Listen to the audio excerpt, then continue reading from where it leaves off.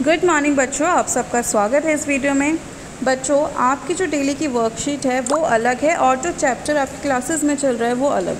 ठीक है? अगर आपको क्लास टेंथ के चैप्टर नंबर सिक्स की स्टार्टिंग पढ़नी है तो आप इसकी इसी चैनल पे वो भी देख सकते हैं।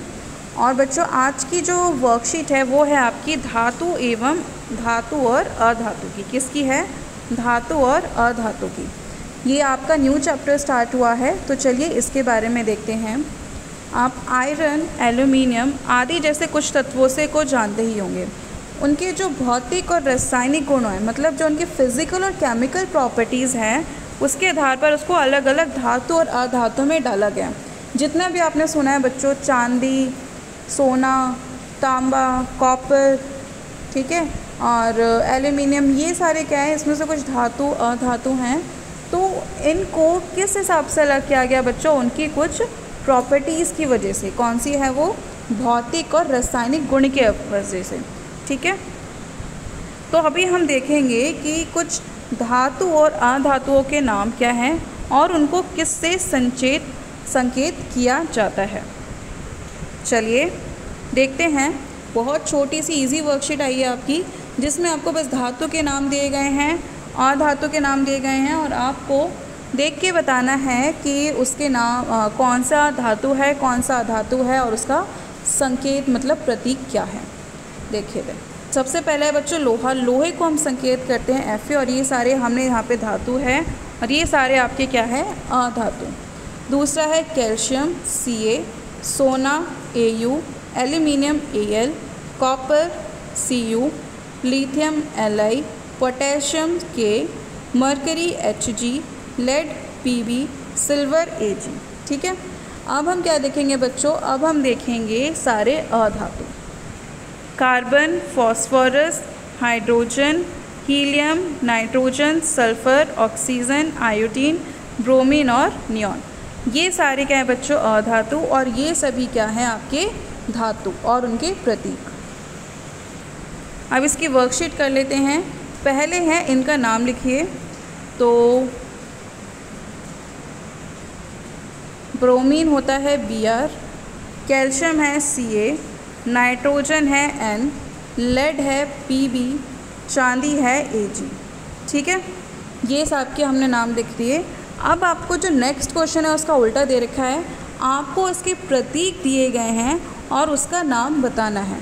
क्या क्या हुआ है, आपको प्रतीक दिए गए हैं और उसका नाम लिखना है। देखते हैं। देखिए एफ़ ई होता है बच्चों, आयरन। आयरन। एच जी होता है मरकरी। किसका होता है बच्चों? मरकरी, या फिर उसको बोलते हैं पारा। ए यू होता है गोल्ड, सोना। ओ होता है ऑक्सीजन ऑक्सीजन सी होता है तांबा या फिर कॉपर तांबा या फिर कॉपर ठीक है? अब उसके बाद आखिरी क्वेश्चन है कि नीचे जो दिए गए हैं, उन तत्वों को धातु और अधातु में आपको वर्गीकृत करना है। आपको बताना जो नीचे लिखा हुआ वो धातु है कि अधातु। देखिए बच्चों कोयला।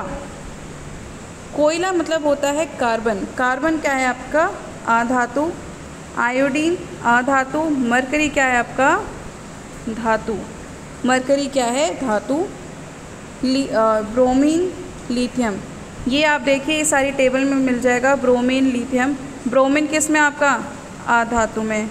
आयोडीन आधातु कार्बन आधातु ठीक है? लिथियम आपका मिलेगा आपको धातु में। और क्या बचा? हो गए? और मरकरी मरकरी हमने बता दिया था, ये भी क्या है? धातु। तो आज की वर्कशीट में बहुत छोटी और इजी सी वर्कशीट थी, जिसमें हमने देखा कि धातु और अधातु कौन से हैं, उनके प्रतीक क्या हैं, उनको हमने उनके प्रतीक से याद किया, ठीक है? बच्चों, याद करने का सबसे सिंपल क्या तरीका क्या है उनके प्रतीक? जो मेनली जितने भी धातु हो गए, अधातु हो गए, उनके पहले इंग्लिश वाले नाम के ऊपर है। फॉर एग्ज़ाम्पल कार्बन कार्बन को जब इंग्लिश में लिखते हैं, बच्चों लिखेंगे C A R B O N पहला अक्षर क्या है? सी तो उसका प्रतीक क्या हुआ? सी फॉस्फोरस फॉस्फोरस को हम कैसे लिखेंगे बच्चों? P H O S phosphorus तो पहला क्या है इसका? पी सिंबल क्या हुआ? P hydrogen H Y D hydrogen. इसका प्रतीक क्या हुआ? एच ठीक है? Oxygen. O X Y G E N पहला लेटर ओ ठीक है? बहुत कम ही ऐसे होते हैं, कुछ ही ऐसे होते हैं बच्चों, जो उनके पहले लेटर के जगह दूसरे नाम पर होते हैं। फॉर एग्ज़ाम्पल जैसे कि आयरन आयरन तो आयरन को हम आई से डिनोट नहीं करते आयरन को डिनोट करते हैं ई एफ़ ई से। क्योंकि उसका लेटिन नेम कुछ फेरिटिन करके है, जिसकी वजह से उसको एफ़ से डिनोट किया जाता है। इसी के साथ आपका दो तीन धातु में और भी हैं, जैसे कि हो गया आपका सोडियम सोडियम को किससे डोनेट करेंगे? एन से। ठीक है? सोना गोल्ड गोल्ड को जी से नहीं करेंगे गोल्ड को करेंगे हम ए यू से। सिल्वर सिल्वर को हम करेंगे बच्चों ए जी से। ठीक है? और लेड लेड इसको हमने किया पी बी से। मरकरी एम सोना चाहिए था लेकिन इसको हमने किया एच जी से। तो मेनली जो भी धातु हैं, उनके अलग अलग सिंबल्स हैं, लेकिन जितने भी अधातु हैं, वो उनके सारे फ़र्स्ट लेटर से ही याद करने हैं, ओके? तो यही थी आपकी आज की छोटी सी वर्कशीट बहुत इजी थी, जिसमें हमने धातु अधातु के नाम देखे उनके प्रतीक समझे। Thank you so much for watching this video